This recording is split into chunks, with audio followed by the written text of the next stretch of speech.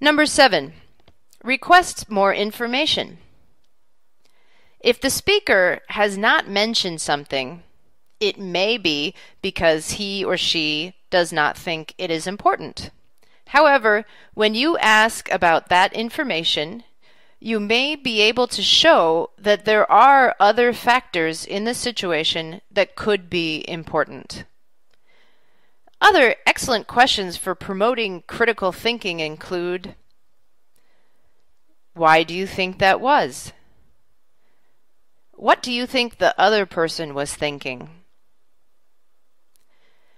As you can see, all of our active listening techniques can help others in their reflective practice. Now, let's look at some additional techniques for encouraging reflective practice and critical thinking in others. Number eight, ask questions the other person hasn't thought of.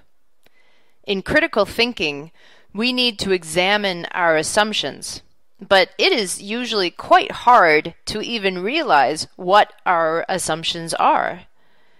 Our assumptions and habits can make us forget the importance of some factors. For example, if a teacher sees a student frowning in class, he might automatically assume that the student is unhappy. A few questions from someone else might help the teacher consider other possibilities. For example, is it possible that that is just what she looks like when she concentrates? Or, how is her eyesight? Maybe she can't read what is written on the board.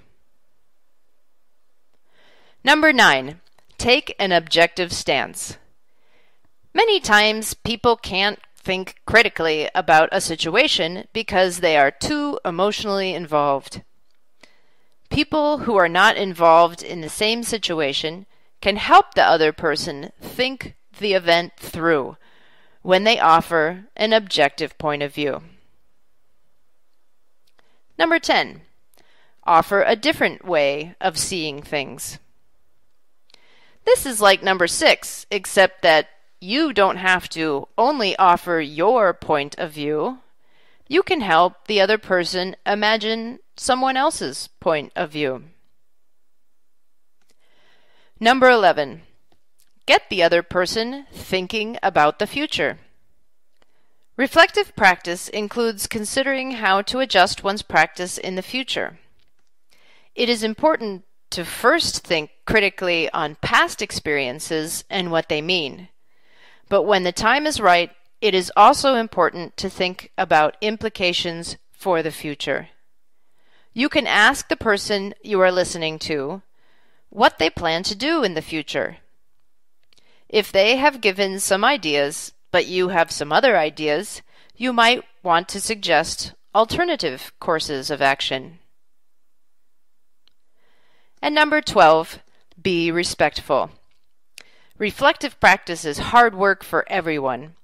There are always perspectives we haven't considered and a lot of emotional issues connected to our work. It is important to respect the other person and choose our comments and questions wisely. These are the references that were used in writing this script. And here are three open source articles that we suggest you look at if you're interested in learning more about reflective practice.